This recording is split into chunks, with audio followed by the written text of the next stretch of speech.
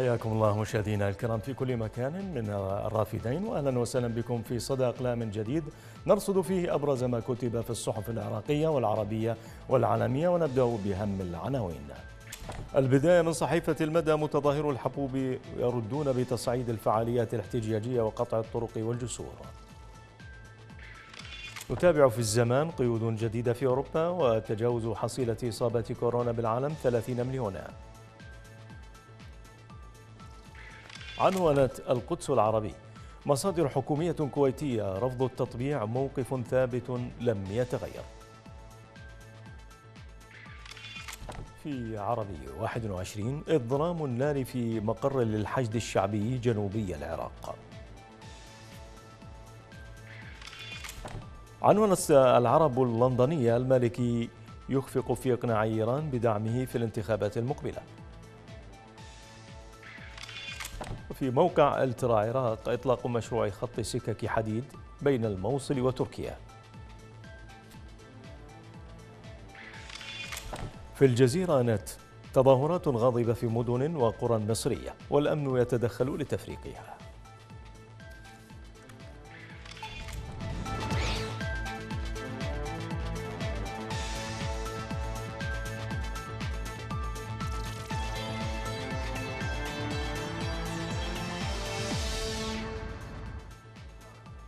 أن تهدأ موجة الصخب المثارة عن تفاصيل جريمة قتل في العراق حتى تبدأ موجة جديدة وتتابع تداعيات فصل جديد في فصول العنف في هذا المجتمع المكلوم.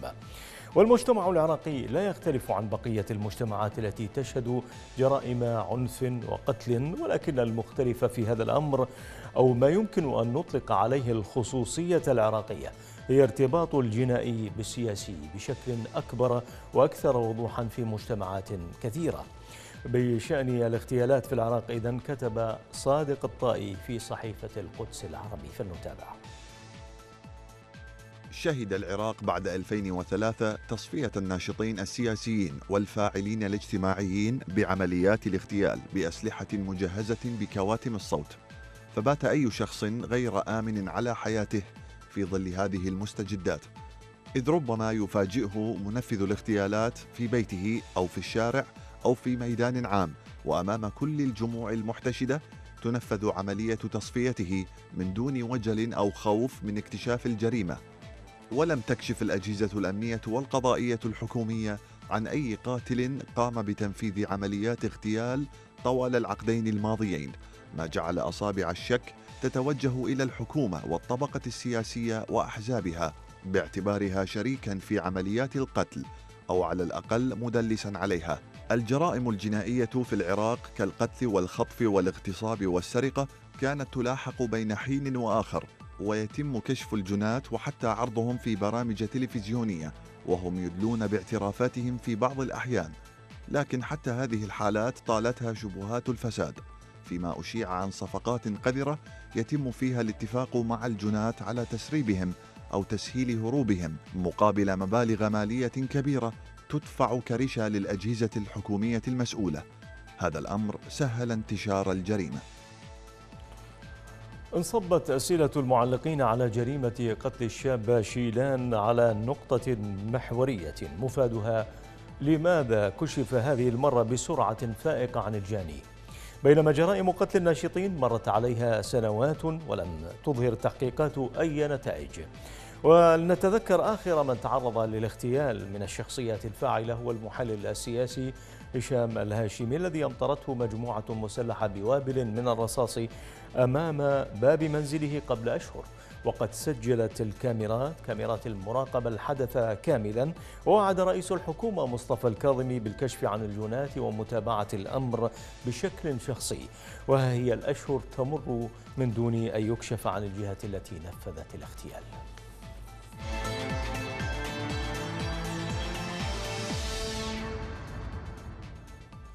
في ظل نظام اعتقد المواطن المغلوب على أمره وفي ظل مؤسسات أمنية كان يفترض أنها في خدمة الشعب ما زال بعضهم يعتقد بأنه يحمل تراخيص لادلال الناس والحط من أدميتهم. هؤلاء الناس كانوا يريدون مسؤولين يعبرون بالبلاد من عصر الفساد والقمع إلى عصر الحريات فوجدوا أمامهم مسؤولين يريدون إعادة العراق إلى زمن القرون الوسطى وأن نبقى جميعا نعيش عصر الشعوب الخانعة التي يحكمها عسكر مستبدون يحتمون بدبابات الجيش. اليوم علينا جميعا أن ندرك أن لا استقرار لوطن يمارس فيه الجلاد وظيفته بقوة القانون. وعلينا أن نقولها مرة ومرتين وإلى ما لا نهاية. إن الجلادين ومن يقوم بحمايتهم يجب لا يفلتوا من قبضة القانون. هذا ما جاء في مقال للكاتب علي حسين في صحيفة المدى. اليوم ونحن نقرأ خبر محاولة وزارة الدفاع تهريب جميل الشمري المتهم بمجزرة الناصرية فإننا نجد أنفسنا أمام عملية ممنهجة لاستعادة ممارسات التسلط على الناس. في العام الماضي وأثناء ولاية عادل عبد المهدي جرت وقائع وأحداث كثيرة أعادت إلى الأذهان أساليب القتل والخطف التي تمارسها الحكومات المستبدة.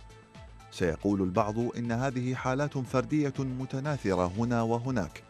ونقول إنها رسائل رعب أرسلتها الجهات الحكومية لكل من يختلف مع نهجها التسلطي ولهذا لن يكون مفاجئا أو غريبا قرار عادل عبد المهدي بالسماح لجميل الشمري بعد مجزرة الناصرية أن يتبختر داخل وزارة الدفاع ماذا تسمي مثل هذه التصرفات؟ البعض سيقول غباء وأنا أسميها تسلطا واستبدادا حين يعتقد من تسلموا مناصبهم بالصدفة أنهم قادرون على إرهاب المواطنين ظلت الناس تنتظر أن ترى أمامها مسؤولا يتعامل على مسافة واحدة مع الجميع. مسؤول شعاره العدالة اولا لكنهم وجدوا أنفسهم أمام عقليات خربة تتعامل مع المواطن باعتباره عدوا وعميلا يجب اجتثاثه. وأضاف الكاتب علينا أن ندرك جميعا أن لا عدالة مع هكذا مؤسسات أمنية ولا استقرار مع قوانين عرجاء ولا مستقبل لبلد يقوده مسؤولون يرون الجريمة وينكرونها وكأنهم لم وكأنها لم تحدث. ليس هناك قدر يحتم على البشر أن يتحولوا إلى ضحايا لوحوش بشرية. لكن أنظمة القمع والاستبداد والتي تصر على أن نبقى أسرى لجميل الشمري ورشيد فليح ومن قبلهم مهدي الغراوي الذي خرج مثل الشعرة من العجين بحسب تعبير الكاتب في قضية سقوط مدينة الموصل والتي سجلت في النهاية ضد مجهول. أجهزة أمنية إذا تعيش على وهم القوة وعصر السجون المخيفة وزنازين الموت.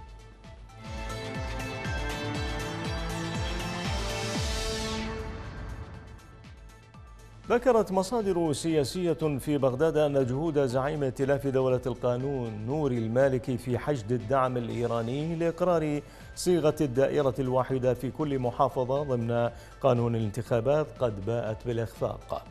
وذلك في ظل تمسك الزعيم الشيعي مقتدى صدر والقوى السياسية السنية بصيغة الدوائر المتعددة ضمن المحافظة الواحدة. التي سبق البرلمان أن أقر إطارها العام ولكن من دون جداول تفصيلية. فلنستمع مشاهدينا إلى جزء من تقرير لصحيفة العرب اللندنية بهذا الشأن. قالت مصادر سياسية في بغداد إن بند الانتخابات وقانونها كان من بين أولويات زيارة المالكي إلى إيران موضحة أن جهود زعيم ائتلاف دولة القانون في هذا المجال لم تتكلل بالنجاح وتشير المصادر إلى أن الإيرانيين رفضوا إعطاء المالكي وعدا بأنهم سيتدخلون في العراق لإعادة العمل بصيغة اعتبار المحافظة دائرة واحدة. ويقول مراقبون إن إيران لا تريد المزيد من شعور الشارع العراقي ولا سيما الشق الشيعي منه بالغضب إزاءها. بعد أن كشفت تظاهرات أكتوبر عام 2019 حجم التراجع الكبير في شعبيتها داخل هذا البلد المجاور. ويعد المالكي وهو رئيس وزراء العراق لدورتين بين عامي 2006 و2014 أكبر المستفيدين من القوانين الانتخابية خلال عمليات الاقتراع السابقة إذ كانت دوما تبنى وفقا لقياسات مشروعه السياسي. لذلك حقق نتائج ليست واقعية في انتخابات عام 2010 و2014 قبل أن يتلقى صدمة كبيرة في انتخابات عام 2018 التي خسر خلالها ثلثي مقاعده تقريبا بسبب اعتماد قواعد جديدة في الاقتراع. ومنذ شهور يتحرك المالكي لتلافي تكرار خسارته خلال الانتخابات العامة المقبلة. يدرك المالكي أن تعدد الدوائر ضمن المحافظة الواحدة سيقضي على آماله في العودة إلى واجهة المشهد السياسي من باب مجلس النواب المقبل وذلك لأن جمهوره موزع بين مختلف المحافظات الجنوبية. ويقول الفريق المقرب من المالكين مجلس النواب الحالي أقر التعديلات الجديدة في قانون الانتخابات تحت ضغط الشارع بعد توافق سياسي على امتصاص موجة التظاهرات الأولى من دون نيات حقيقية باعتمادها في غضون الاقتراع.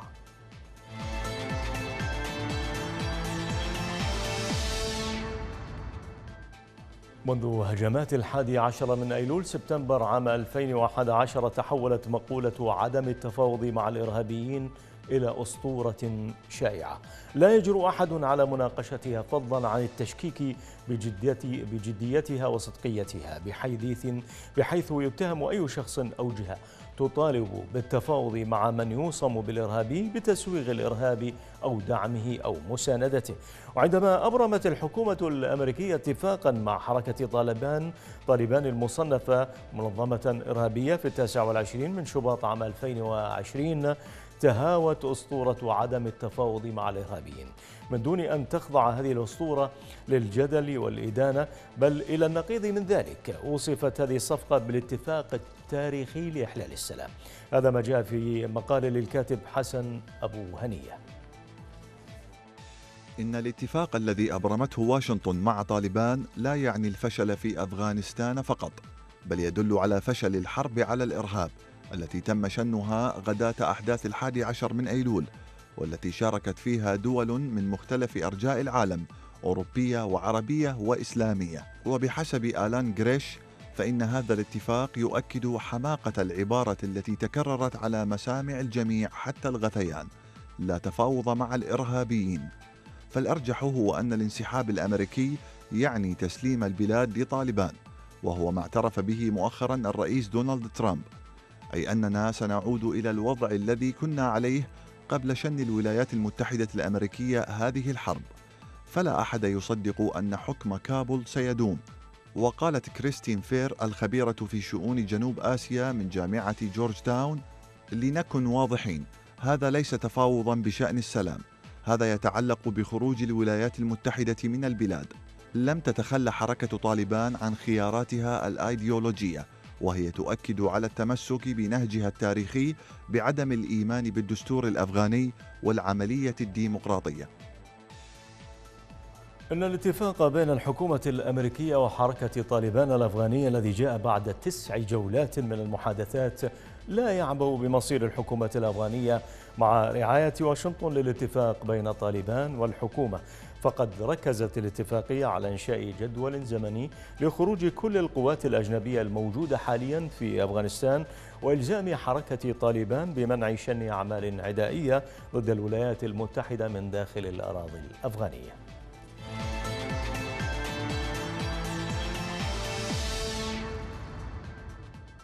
نشرت صحيفة واشنطن بوست الأمريكية في افتتاحية عبرت فيها وعدت فيها أن رئيس دونالد ترامب قد ضرب سمعة الولايات المتحدة في العالم.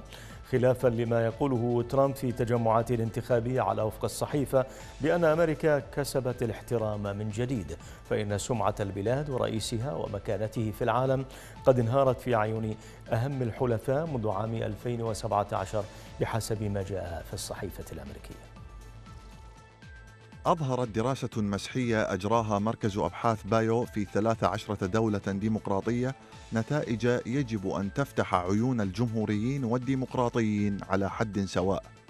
إذ كشفت عن تراجع النظرة للولايات المتحدة ولأدنى المستويات في السنوات العشرين الأخيرة في بريطانيا وفرنسا واليابان وأستراليا وهولندا والسويد. ولم تظهر مواقف إيجابية من الولايات المتحدة إلا في دولة واحدة وهي كوريا الجنوبية التي عبر فيها 50% من المستطلعة آراؤهم عن مواقف إيجابية.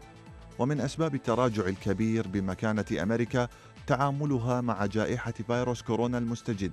فالموقف الدولي العام هو أن أمريكا عالجت الأزمة بطريقة سيئة وقال ما متوسطه 85% من المستطلعة آراؤهم في الدول التي شملتها الدراسة. إن أمريكا عالجت الجائحة بطريقة سيئة. وقال 15% إن أمريكا تعاملت مع الفيروس بطريقة جيدة أو نحو ذلك. هذا وقد عد تقرير واشنطن بوست. أن إصلاح هذا المشهد سيكون مهمة صعبة حتى إذا رفض الناخبون ترامب في انتخابات تشرين الثاني نوفمبر المقبل.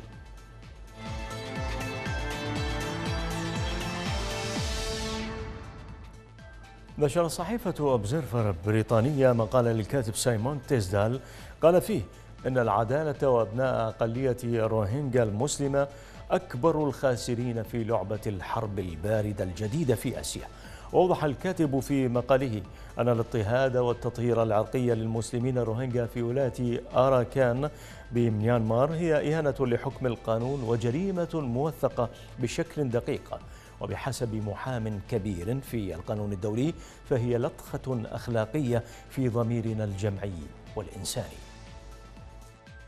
والسؤال هو عن استمرار المذابح بدون معاقبة المرتكبين لها بحسب الكاتب الذي أضاف بالقول إنه سؤال له عدة أجوبة محتملة. فربما كان وضع ميانمار أو بورما السابقة المعزولة والفقيرة سببا في عدم ظهور حملة دولية مستمرة ففي ميانمار كانت بريطانيا الإمبريالية قبل قرن من الزمن واليوم الصين الإمبريالية التي لا تهتم بحقوق الإنسان في الداخل والخارج على السواء بحسبه. وفي قلب لغز ميانمار تقع قوة قمعية لا أحد يستطيع وقفها وهي تات مادو منظمة القوات المسلحة التي تتسيد الحياة الوطنية رغم العودة الإسمية للديمقراطية عام 2011 فالهجمات التي نفذتها ضد المسلمين الروهينجيا في الفترة بين عامي 2016 و 2017 وقتلت الآلاف وهجرت ثلثي مليون مسلم إلى الجارة بنغلاديش صدمت العالم. لكن أحدا لم يحاسب المسؤولين عن تلك الجرائم. وحذرت ميشيل باشليت مفوضة حقوق الإنسان في الأمم المتحدة من أن الجيش البورمي بدلا من وقف المذابح فإنه استأنف عمليات قتل وخطف المدنيين في أراكان وولاية تشين بدون خوف من المحاسبة. وتكشف الصور التي التقطتها الأقمار الصناعية أن الجيش أن الجيش قد جرف بلدة الروهينجا آه، واسمها كانكيا. والتي أحرقت قبل سنوات ومحي اسمها من مع قرى أخرى من أجل محو وجودها من الخريطة في إطار عملية التستر على الجريمة. وفي الوقت نفسه لا تتجرأ أمريكا ولا حتى الدول الأوروبية على التشدد في مجال حقوق الإنسان خشية خسارتها فرصا فرصا تجارية أو ورقة نفوذ في هذه الحرب الباردة الجديدة في آسيا.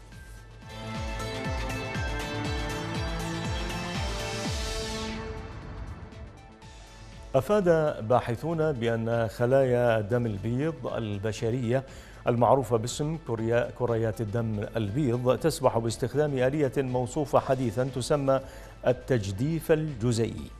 ويمكن لآلية هذه السباحة الدقيقة أن تشرح كيف تهاجر كل من الخلايا المناعية والخلايا السرطانية في المنافذ المختلفة المليئة بالسوائل في الجسم.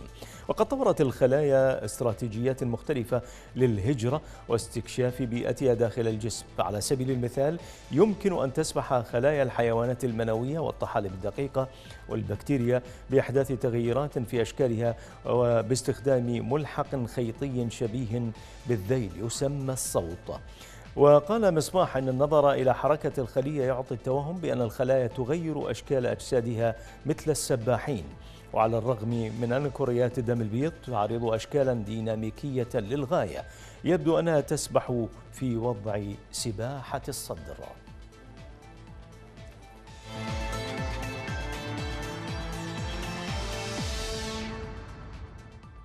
قلال المشاهدين مع مجموعة مختارة من الرسوم الكاريكاتورية.